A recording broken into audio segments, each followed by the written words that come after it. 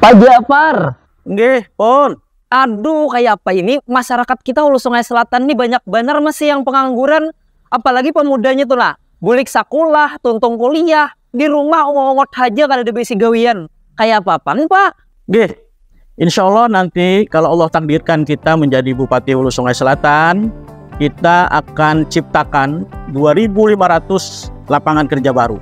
Dari mana ini bisa kita hasilkan 2.500? Insya Allah nanti yang pertama untuk anak-anak muda kita akan mengadakan pelatihan. Pelatihan dalam bentuk digital marketing yang melatih anak-anak muda ini untuk bisa memasarkan produk-produk Hulu Sungai Selatan bukan saja nanti ke Indonesia tetapi juga bisa ke luar negeri melalui internet. Harapannya nanti mudah-mudahan produk kita ini bisa bersaing dengan produk-produk luar dan bisa dibeli oleh orang-orang sampai luar negeri. Nah yang kedua untuk emak-emak atau ibu-ibu yang ada usaha-usaha di rumah tangga, kita akan siapkan permodalan tanpa bunga.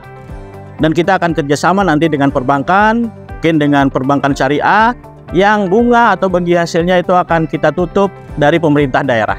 Sehingga mama dan ibu-ibu ini tidak mempunyai beban terhadap beban bunga ataupun beban bagi hasil. Nah, yang ketiga juga untuk abang-abangku yang ada di negara, kita nanti insya Allah akan menyiapkan nanti di sana ekskavator dan ponton yang bisa untuk membersihi lahan-lahan pertanian dan lahan-lahan perikanan di sana.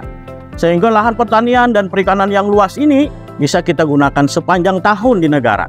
Dan yang keempat, insya Allah nanti kita akan memperbanyak objek-objek wisata yang itu nanti kita padukan dengan pusat-pusat kuliner sehingga akan menciptakan usaha-usaha baru. Dan yang kelima, untuk pemuda-pemuda di Sungai Selatan, kita akan coba pelatihan nanti yang bisa kita sebarkan nanti hasil pelatihan ini kepada perusahaan-perusahaan besar, terutama tambang dan sawit. Pelatihan ini nanti kita fokuskan untuk pelatihan operator-operator alat berat, sehingga pemuda-pemuda kita punya skill, kemampuan yang dibutuhkan oleh perusahaan untuk bisa bekerja di perusahaan-perusahaan tambang dan perusahaan-perusahaan sawit. Mudah-mudahan ini langkah-langkah kita dalam rangka untuk mengatasi pengangguran di Hulu Sungai Selatan insya Allah.